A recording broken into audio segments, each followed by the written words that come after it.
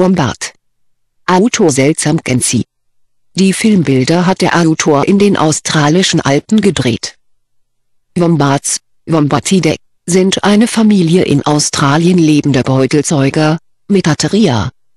Es handelt sich um höhlengrabende Pflanzenfresser mit bärenähnlichem Aussehen. Wombats erreichen eine Kopfrumpflänge von 70 bis 120 cm und ein Gewicht von 20 bis 40 Kilogramm. Ausgewachsene Wombat-Weibchen übertreffen für gewöhnlich die Männchen in Größe und Gewicht. Ihr Körper ist stämmig gebaut, die Gliedmassen sind kurz und kräftig. Die breitsohligen Füße enden in fünf Zehen, von denen die Vorderfüße fünf und die Hinterfüße vier große, sichelförmig gekrümmte Grabkrallen tragen. Der große Kopf ist breit und die Ohren sind mittellang, rundlich bis dreieckig. Die Augen sind relativ klein und das Nasenfeld ist je nach Art nackt oder behaart. Der Schwanz ist zu einem kleinen, nackten Stummel reduziert. Das relative feste Fell ist kurz bis mittellang und variiert je nach Art in der Farbe von gelb, grau bis schwarzbraun. Die Bezeichnung Wombat wurde von den Ureinwohnern in New Wales übernommen, welche die Tiere je nach Gegend Wombach, Wombak oder auch Womat nannten. Die ersten europäischen Siedler nannten ihn bei seiner Entdeckung 1798, Medef Badgeir, in der irrtümlichen Annahme, es sei ein Dachsverwandter. Bemerkenswert ist das unter den Beuteltieren einzigartige Gebiss, das Ähnlichkeiten mit dem der Nagetiere aufweist. Sie haben im Ober- und Unterkiefer je ein paar wurzellose Schneidezähne, die Backenzähne sind einfach gebaut und ebenfalls wurzellos. Hierdurch wachsen die Zähne dauernd nach und es kann hartes, abrasives Futter gefressen werden. Da die Eckzähne fehlen, klafft zwischen Vorder- und Backenzähnen eine Lücke, Diastema. Die Zahnformel lautet 1-1, Bindestrich 0 Schrägstrich 0 bis 1 Schrägstrich 1 bis 4 Schrägstrich 4, somit haben Wombats die wenigsten Zähne aller Beuteltiere, 24 Stück.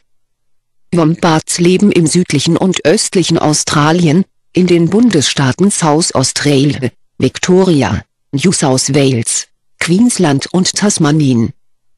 Sie bewohnen unterschiedliche Lebensräume, benötigen aber eine gut zum Anlegen ihrer Baue geeignete Erde. Wombats zählen zu den größten grabend lebenden Säugetieren überhaupt. Mit ihren scharfen Krallen errichten sie Wohnhöhlen in der Erde, welche sich manchmal zu komplexen Tunnelsystemen auswachsen können.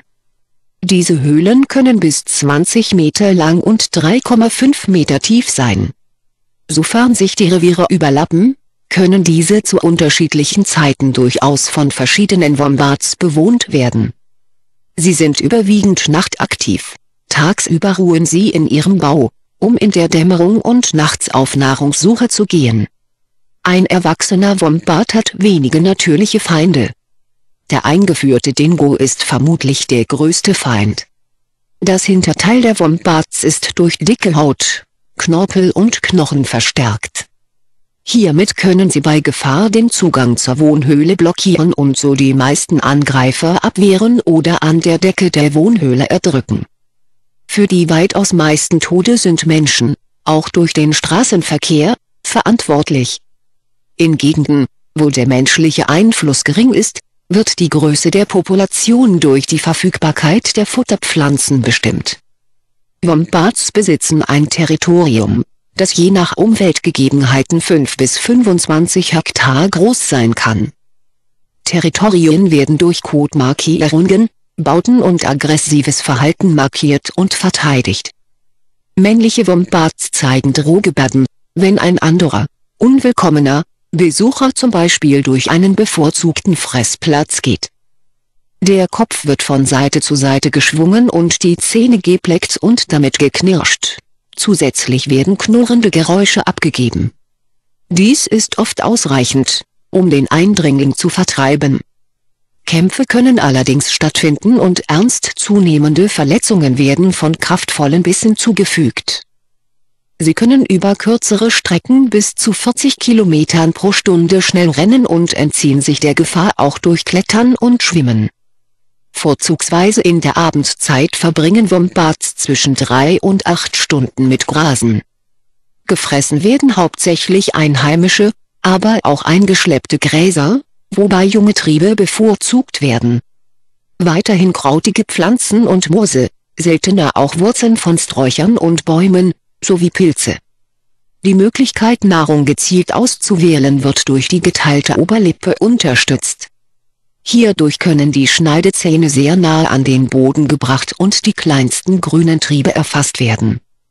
Der Geruchssinn spielt bei der Futterauswahl für diese überwiegend nachtaktiven Tiere vermutlich eine große Rolle. Sie besitzen einen sehr langsamen, extrem effizienten Stoffwechsel. Um eine Mahlzeit zu verdauen, brauchen sie bis zu 14 Tage. Wombats sind mit die effizientesten Wasserkonsumenten unter den Säugetieren. Zum Vergleich, die auch an australische Verhältnisse angepassten Kängurus verbrauchen viermal so viel Wasser. Wombats vermehren sich üblicherweise das ganze Jahr über, in sehr trockenen Gegenden allerdings eher saisonal. Weibchen haben einen nach hinten geöffneten Beutel, so dass dieser bei der Bauaktivität nicht mit Erde vollgeschaufelt wird. Obwohl zwei Sitzen existieren, wird fast immer nur ein Junges aufgezogen.